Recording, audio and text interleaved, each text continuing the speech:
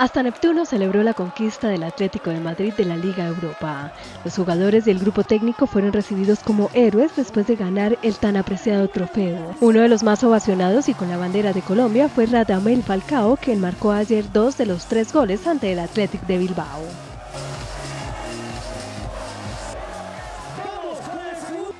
Con la canción We Are the Champion, alzaron la copa y los aficionados realizaron una gran ovación.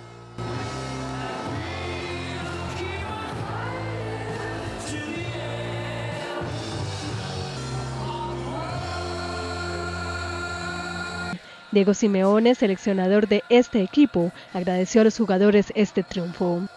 Quiero ante todo agradecerle a los jugadores porque sin ellos evidentemente no se pudo haber hecho este paso.